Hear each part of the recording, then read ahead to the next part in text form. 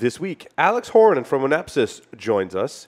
To be or not to be a consultant is the question for listener feedback. The NSA gets hacked, well, sorta. Snowden thinks it's Russia, like maybe sorta. And the perception of hacker jeopardy is in jeopardy. All that and more, so stay tuned. Black Hills Information Security, the leaders in penetration testing and active defense. Email consulting at blackhillsinfosec.com to request a quote today. ThreatConnect is the industry's most widely adopted threat intelligence platform. Built to unite the people, processes, and technologies across your security team, your organization, and your entire ecosystem of partners. ThreatConnect's threat intelligence platform enables your team to collaborate, analyze, and make sense of threat data all in one place. Empower your team towards fast and efficient analysis that leads to decisive action. Transform your entire threat detection and response program today. Claim your free account at threatconnect.com forward slash security weekly. Faraday is an open source collaborative pen test and vulnerability management platform. With real time dashboards and more than 50 tools, Faraday allows seamless integration with your security workflow, allowing CISOs and pen testers to see in real time the impact and risks uncovered from assessments. Scan your network every day using different tools and get one click reports creating a collaborative experience, sharing knowledge, and making pen testing fun again. This is Faraday. Visit faradaysec.com for more information. Uh, hello? Hi. Hello. And welcome to the show. Because here is your giggling host. He's a man who's up to date on his tetanus shots and needs lots of band aids. Mr. Paul Asadoorian. oh, hey, welcome to Security Weekly. I'm your host, Paul Asadoorian, and joined here in studio, starting to my left, here live in G Unit Studios, is none other than Mr. Jeff Mann. How's it going, Paul? It's going fantastic. That's not what you were saying before. No, it really, it really, it really, uh, you know, If I- it wasn't for the bloodshed, yeah, like I just, I walk into things and cut myself a lot, not on purpose, but that because that uh, would all- require a medical professional. All in the sake of a different kind of medical all, all, professional. all in the sake of peeing, right? And being lazy. That's yes, yes. Larry Pesce is here in studio. Yes. This is my. Survi- survived DEF CON. we survived DEF CON recovery. That's good. Yes. And then back Yeah. to Vegas in like two weeks to go And, but do you guys sands all over saved some up for DerbyCon. I was on the, the TrustedSec podcast earlier today. Nice. That was fun. That was a, a Always- lot of uh, always sit, plenty of time between DEF CON and DerbyCon to get yeah saved up. to get saved up. Oh, yeah, yeah, That's good. Yeah. So DerbyCon's canceled. That's no. they make the joke every week. It's pretty funny. I like it. Uh, on the lines via Skype, Mr. Carlos Perez. Welcome, Carlos. hi everyone. Can you guys hear me? Yeah, there he hey, is. there he is. What's going on, Carlos? Doing good. Good to talk to you, my friend. Mm-hmm. Uh, are you doing training at DerbyCon this year? Yes, Oh, I'm teaching my for you. PowerShell class. Is it Uh, sold out already? It's sold out in less than 24 hours. Wow. Yeah, all of, all of the classes are sold out. It's a good problem Yep. to have. You need to get them to put some more seats in there, dude. Um, I asked, but they told me no. Uh, Oh, Uh, and I'm also presenting right after the keynote. oh Excellent. nice. Wow. That's a good speaking slot. Yeah. Oh yeah, I'm going against Ed Skoudis and Metasploit Town Hall, so more than likely my room will be empty. That is probably not a good Ac- slot, actually, but actually, no, Carlos. What are you speaking on? yeah. What's your topic? Yeah, what's the topic? Uh, thinking purple. Uh, I'll be at your talk. So it's about it's about Barney. Is it? No. You No. gave me now an idea of an image to add to my slide deck. You're, wel- you're welcome. And you know, and you know what the difference between pink and purple is, right? The grip. The grip. I was slacking on that one. I should have had that one I sooner. I had to think about it. and I'm also speaking at DerbyCon. What are you speaking about? Saturday. It's uh, well, it's in the the show. It's in the show notes. Yeah, no, it's in the. Uh, it's in the schedule, um, which I don't know if they've published yet. Uh, but we are at InGuardians. We are releasing. Um, uh, the talk title is called "I Don't Give One Iota," and it's releasing the Internet of Things attack methodology. It's Oh, a, nice. a methodology, not a tool. Or Correct. is It is there a, a it tool? is I a gotcha. methodology, not a tool. I like it. Is that the one you, t- you used to hack uh, Paul's automated home? Uh, no, no, they just merely perfected it that way. Come on. Show me how you unlocked my door. Do you think Come you on. could uh, hack Tenable the studio networks. thermostat? Can you make it not go to 78 at 6 o'clock every day, every night? Why would I do undo the hack that I already did? That's not even a smart thermostat. exactly. I rest What are my those case. wires? There's a Raspberry Pi behind it. Where does that come from? Uh, so yeah, it's a, it's very much about talking about the methodology about approaching uh, pen test from IoT and all Nice. the parts that it encompasses because it's uh, it's a heck of a lot larger than a lot of people a lot of people think. Your parts are a lot larger than people think. absolutely, absolutely. I don't usually hear that, but Jeff, where are you But it's nice about? to hear it. Are you every once in a speaking nice about- to, it's nice to hear it from you, Paul. I, am, I am Are you speaking about your parts or Larry's parts at any conferences? uh, what's my next conference? Uh, It's uh, uh, Gur- GrrCon. GrrCon. GrrCon. Where is GrrCon? It's in uh, Grand Rapids, Michigan. Yes. Yep. I think there's a B-sides in there here or there beforehand. Are you speaking? Am I Sorry. speaking? Thank you. no, you're speaking now, but are you speaking at the conference? I'm speaking at GrrCon. I'm what's your title? What's your talk at? um, Tales from the Crypt. Dot dot dot. yes. Analyst. I like it. I like it. There's a graphic and everything. It's pretty cool. Tip, Tales from the Crypt analyst. Uh, Yes. Something like that. has yeah. pictures and everything. I'm just going to tell some stories about stuff I used to do back in uh, my early days at NSA when I was a cryptanalyst. Should be fun. Cool. Um, let's see. Oh, uh, d- around it on the conference thing, DerbyCon. We're hopefully going to have those onesies available that say Yeah, Nice. I have an I have- offensive countermeasure in my diaper. Yeah, That's and awesome. I I brought it up uh, earlier on the TrustedSec show that we should also make adult sizes. We should. I haven't run that by John or marketing yet. I think you just did, and I think it was approved. I think, I think it's I think unanimously. if you want an adult shirt that says I have offensive countermeasures in my diaper, no, no, no, no. I do not want an adult shirt. I want an adult onesie. an adult onesie. Yes. I think they're called Send singlets. But Send me a tweet so like I can show our marketing that there's actual interest in it. Um, I don't know if they make adult onesies. yeah, they're, Dude, they're, they're called dude, singlets. It's called the internet. and that could be the new. You have to wear one of these instead of getting iced. Yeah, Talk about guerrilla marketing. yeah. So if you want an adult onesie or T-shirt, tweet me Security Weekly on Twitter, and we'll we'll, we'll do a grassroots effort to get this stuff made up. Uh, okay, so listener right. feedback. To be or not to be a contractor. I think I said consultant earlier. you did. Consultant. Is there is there a difference? Well, consultant implies that you could work for another organization, um, and a contractor implies that you're in business for yourself. Of course, you could be an independent consultant, in which case you would work for yourself. In which case you'd be a contractor. Yeah, let me. Can I? I'm going to read the listener feedback now. Let's read the Okay, listener You know, feedback. let's. So Chris writes in, "Hey Paul, longtime listener, first time caller. I have a question about my career development. Would love your input and the input of your guests. Not, not sure you want our get. Maybe the other host, probably not all of our guests. They would have some very interesting feedback, um, which would vary greatly. I've been working in IT for the last three years as an employee. Recently, I've been filling in as a fixed term employee, and the term is coming to an end. Um, the manager said basically um, there's not enough room to take him on full time. He's working trying to get an approval as a contractor, potentially at a higher rate. Um, he says he's never worked as a contractor. I know I'll have to incorporate that. eh, incorporate in that I'll be working through an employment agency to procure, procure Procurement due to yes okay uh, and so he's spoken to other contractors but wants more help about how do you Hmm. become an independent contractor or consul- independent consultant Well, I think the first consideration you need to to make is: Do you want to get paid? Do you want to work? If there's Well, if there's other options out there, you know, full time employment is good. But if you want independence, autonomy, and somebody's willing to pay you, maybe being a contractor isn't a bad thing. Some some other things that immediately would come to mind to think about would be along the lines of depending on the uh, employment agency. Um, if you work full time for the employment agency, who's responsible for your medical insurance and such?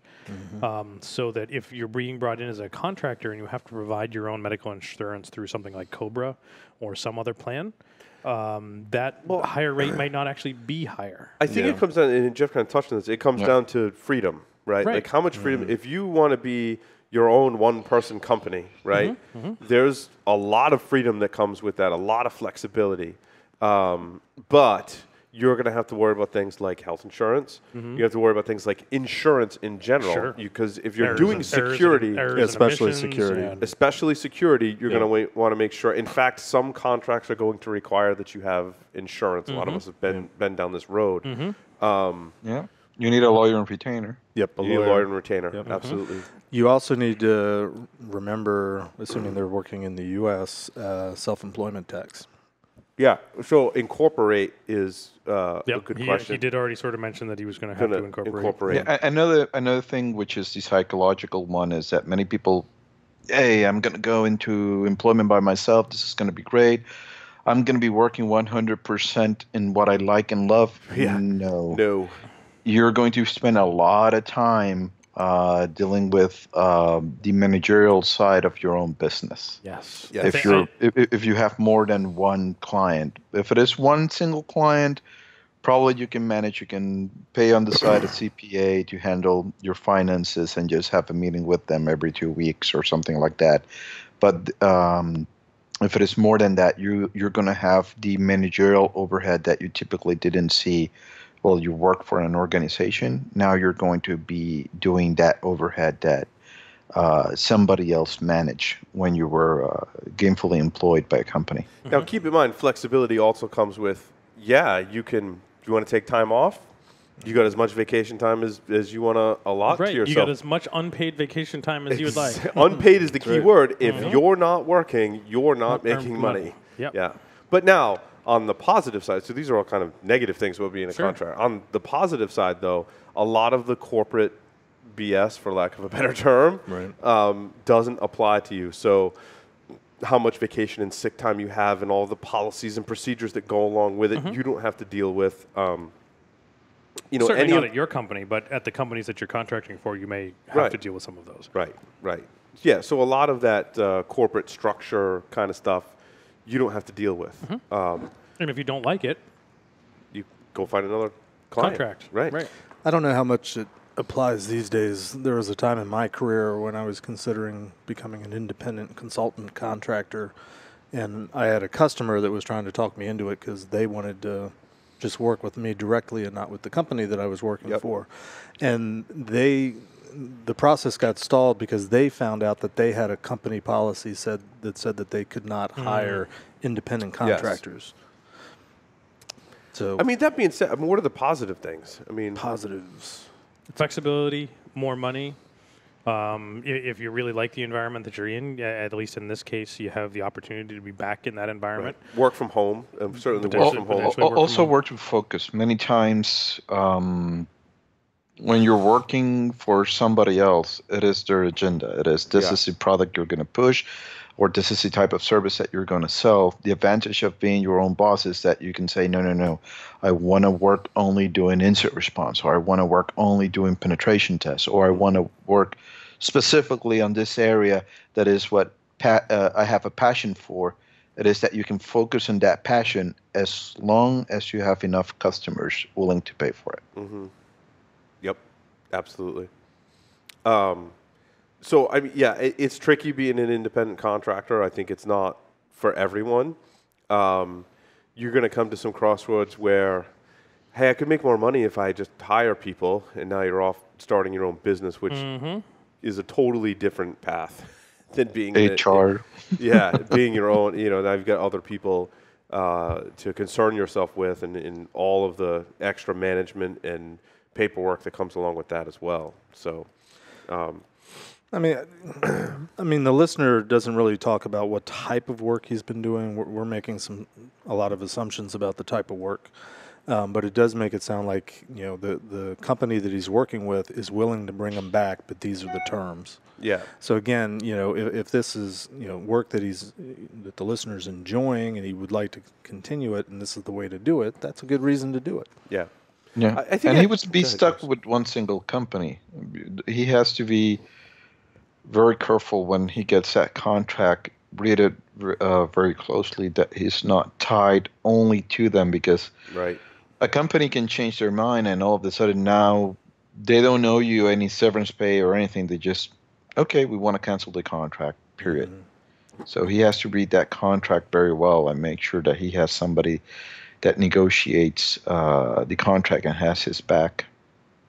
Yeah, I think um, when I think about the different areas of security and, and contractors, you know, pen testing is a that's a kind of a pretty cool independent contractor gig because you can kind of pick and choose which pen test you want to participate in. Where is if you have a pen test business, uh, in the beginning you you can't be as selective uh, if you got a right. team that you got to keep busy. But if it's just yourself, you can be a little more selective in taking on the things that are interesting, and there's certainly something to be said for that. Uh, I find that um, programmers uh, a lot are independent contractors. So if you're looking to write software, and especially in security, we need people like that. Uh, we're still uh, looking to hire Python programmers here, actually. No, but they don't want to work for you. No, they, don't want to work be for me. independent. Yeah, exactly. exactly. And you really don't want to work for Paul. but that's it. No. No, can you blame them? yeah, I, well, um, but you know, being a, a software uh, developer is is that's pretty cool. And there's a need for that in security, and that lends itself, I think, to the independent contractor. A lot of website people are independent contractors as well. Yep. Um, just thinking about who you know, we've hired over the years for independent contractors. So, um, i you know, if you want to do security, it depends on what you want to do. Um, if you want to, you know, be implementing security solutions, that can be tricky uh, as an independent. A lot of those guys that do it or gals that, that do that kind of work are targeting more smaller businesses. You want to hire just one person to come in and basically do everything, so you have to be more of a generalist. Um, do you guys see a lot of independent contractors like in the enterprise? Doing enterprise security solutions, I really don't. I see as more integrators and bigger companies that are doing Yeah, that. um, Right? we do, um, and you know, maybe we're a little bit different in that, but uh, we do see a fair amount of contractors um, that are there to do enterprise security solutions. But typically, those contracting folks end up being more um, either project management Yes. or higher level sort of thought leadership type Right. of stuff right. than than anything else. Um, very infrequently, they get stuck in uh, thought leadership and managing a single product role. Right. It's interesting. Um, my next point, I actually remember having conversations with Jay Beal about this, who was uh, mentoring me on this subject uh, several years ago. And we got talking about, well, if you're a penetration tester, right, for example, there uh, was, and there probably still is, lots of companies that want to hire you as a contractor and have you go do a job. But when you do that job, you're representing their company. You don't work for whatever you called your contracting business and Yep. consulting. You're working for them as them, but you're still getting paid as a contractor. Yep. Uh, and you got to make that decision. I think personally, to get started, you got to go do that, right? Right. Yep. At some point, I think most people come to a crossroads. Do I want to keep doing this, or do I want to make a brand of my own uh, and, and, call it my own? So, It's the other thing that I think might actually, and a potential benefit is being perceived as a contractor going into one of those places that you're that outside fresh set of eyes Mm-hmm. that everybody listens to. Like, how many times have you gone into an organization to do a pen test and said, "We've been trying to get them to do this, This for, for so years," long. and you put it in your report. It's like a one-line thing that you should do that, and that's the thing that blows up in the report. Like, "Oh, we're going to do this. We're putting all our resources behind that," because all it took was for some independent third party, some Absolutely. contractor or some consultant to to say those things. right. I mean that yeah that that definitely applies. I mean I was a consultant for many years, so that happened to me all the time. Just because you're the perceived expert, the knowledgeable person. I used to go in there and just ask people, "What what are you telling your management that they're not hearing?" Because if I say it, they're going to hear it. Trust me. And they would, and they did, and and that was one of the techniques that I used just to actually kind of bond with the people I was working with. No, you have to be more social when you're a contractor. Yeah. Uh, when you are an employee, probably if you don't like interacting a lot with people, you don't. Uh, you can just do your work and deliver. Uh, but once you're a contractor, you have to be a bit of a salesman. You have to keep those relationships and maintain them and nourish them uh, constantly uh, with your customer or with your customers, uh, especially with the higher ups. And you need to know how to talk the business lingo. Um, it's not enough for being uber technical. You have to know about business. You know how to know you, you you know you have to know how to express yourself uh, when you're talking with upper management and get the message across.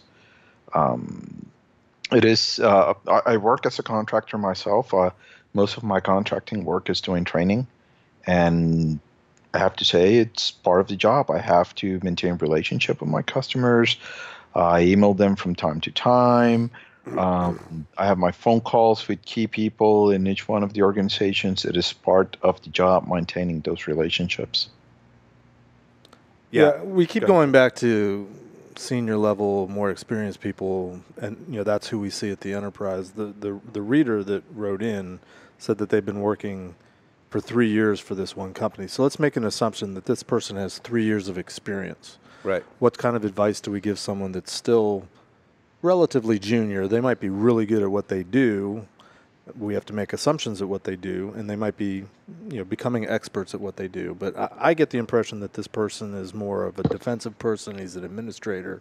He knows some security technology, and he's been working on it. Mm-hmm. What kind of advice can we give to someone like that? Don't be a one trick pony. Mm. Learn as much as you can in other areas so you can provide added value. Yeah, use that flexibility that you get as a contractor to Mm-hmm. build your skill set.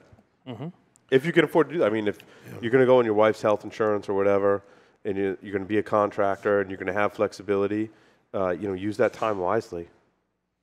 Choose wisely. Choose wisely. Yes. But if the allure is, you know, the the pay is all, you know, double or triple what they're making, Right. that can that can we we talked about that. That can blow up real quickly by the time you start paying for all the stuff that you didn't have to pay for before. Right. Yeah. If you do the math, and if you do stand to, let's say you get paid three times, but you're still standing to make twice what you're making, do that. Realize there there might be a time limit to that, and during that time, work to build your skill set and plan your next move and look ahead. Yep, absolutely, absolutely, and uh, and also uh, you, you know especially especially in this consideration where they can't bring you on as a full time employee, but we can bring you on as a contractor. I mean, I get sort of the way the operational versus capital expense for something like that Yes. works. Um, make sure you have a good understanding as to at least in this situation how long that capital expense may last for Right. um, and potentially how long your contract is going to run for, and you know what the penalties for closing early are and stuff. Well, and there's pros and cons to how much you sign up for in your contract. Yeah. And understanding that even in the contracting world, uh, a lot of times it, it's sort of, at, you know, the company can change their mind and terminate the contract, and you're usually not in the position as a one person company to kind of fight that. Yep. I also think that if you're good enough at what you're doing, uh, you know, if you're working for a company and they can't bring you on right now, they want to bring you on as a contractor, they want you, and uh, you know, it, it, it might be a good thing to do. And things change down the road. If you're if you're that valuable, they will find a spot for mm-hmm. you. They the- will find a way. And I've Of seen it. of that- co- Of course, then make sure your contract doesn't have sort of the anti-poaching agreement in it, Right, Because right, they may want to bring you on from a contractor to a full-time employee, but their con- their their contract may say that they can't hire independent contractors that have been with the company because it's considered poaching. Yeah, mostly that So- rule is is broken. It It is, is, but it's still something If there's that no folks third consider. party invo- involved, I've seen that rule broken all the time. Absolutely. And because the business can make a great case because they're like, look, we're paying this person X amount. It's Mm-hmm. actually the same or a little cheaper to bring them on full time, Mm-hmm. and they've proven that they've done a great job for us. So we should hire them on full time. Eh, Like hundred percent of the time, the company's like, yeah, just go ahead and hire them. Uh, yep, abso- that. absolutely. But now that's that's a key key point. Have an open conversation about this Yes. with all the parties involved. If you're going to work for one of those employee uh, Right. management groups, you got to have that same conversation with that employee management group because they're the other end of that. And, and as a contractor too, it's a great way to, to try. I mean, you may do independent contracting for a while, and Mm-hmm. then you're doing this this gig for a company. You're like, oh, this is a really cool company. Like I've seen that work out really well, where you go work for the company. Hey, that person's happy, and they have a, a long career at that at Mm-hmm. that company, and they started out as a contractor. So I think that's a good positive Absolutely. um, for You know, the one, situation. One thought I just had too is, 'cause, uh, you know, in my years hopping jobs here and there, I, I don't do it that often, but I've I've made relationships with various headhunters, Yes. and I keep tabs with them. That would be a good, um, you know, set of individuals to talk to just to get a feel for where the market is. Um, you know, I I know one guy in particular. Uh, you know, and I could put him in touch with our reader if he's interested. You know, just to have a conversation. You know, what is the outlook? How does it? You know, is this, especially because they could get into what this guy actually does, Right. And you know what his what his expertise is, what his field is, and that and you know most headhunters, at least the one guy I'm thinking of, would be has always been pretty candid about yeah that's a good idea. Mm, yeah, you don't want to do that type right, of thing. right. They- They'd give good feedback and good advice, and maybe they'd even find permanent placement if that's Yeah, ends up being something that's more comfortable for you. cool. Carlos, any closing thoughts? Nope. None. None comes to mind. All right, we're gonna get to security news, and I think we're gonna talk about the NSA thing. Yeah, gonna- that's probably Mhm. going to come up. probably. And I and I've got one in there good for Carlos too that I think he'll he'll really appreciate. Excellent. Some news today. We need some fresh drinks, and then We're gonna get we'll, some uh, fresh drinks. We're gonna get good and liquored up and talk about security news. So stay tuned. Don't go anywhere.